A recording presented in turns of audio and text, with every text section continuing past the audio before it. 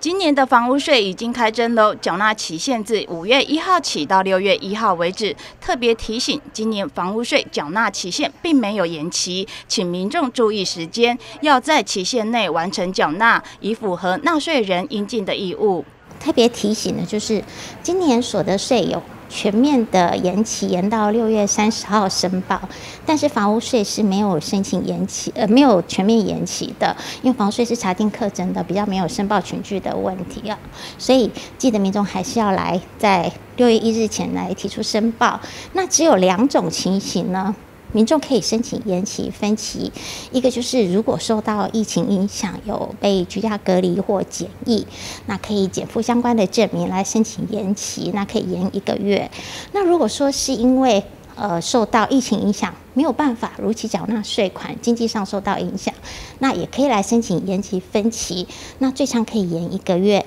那也可以呃也分期，分期可以分。三十六期，也就是三年来缴纳。如果需要的民众，可以来向税务局提出申请。受到新冠肺炎疫情冲击，许多旅宿业者生意大受影响。新竹县税务局也贴心寄出减税方案，业者可以依实际情况申请使用情形变更，来减轻租税的负担。如果因为受到新冠肺炎的影响，以至于营业状况有所变更，譬如像是饭店旅馆业，它可能住宿率降低了，那就可以来按它的以楼层为单位，或按实际面积来申请由营业用的房屋税税率百分之三降为百分之二的税率，那这样就可以节省三分之一的税负。那所以，有需要的一些盈利事业或餐饮业啊，都可以来提出申请。